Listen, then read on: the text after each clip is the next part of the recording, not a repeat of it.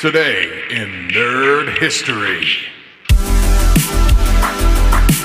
Hey, groovy folks. Today is February 9th, and let's twist and shout because we're diving into a fab piece of music history. Picture this it's 1964, and something huge is about to hit the U.S. The Beatles on The Ed Sullivan Show.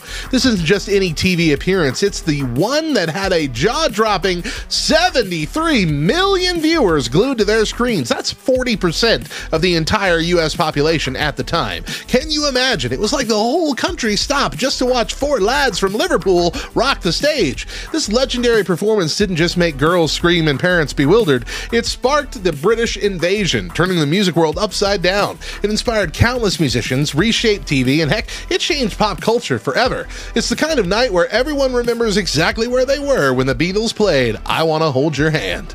Craving more cool trivia from the past? Skate over to lovethynerd.com slash nerd history for your daily dose of nostalgia and neat facts. And hey, don't miss out on this week's blast at lovethynerd.com slash nerd History Pod, we're taking a magical mystery tour into the nerd history of LEGO Masters. It's going to be a building bonanza of history and fun that you won't want to miss. So come together right now for an epic journey.